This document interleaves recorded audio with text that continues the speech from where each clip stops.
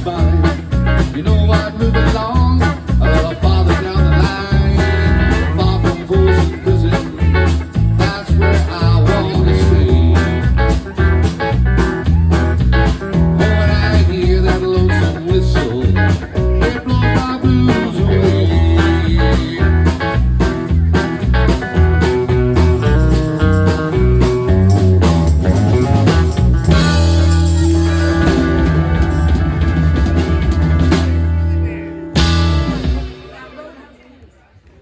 All right, give it up for John there. Yeah.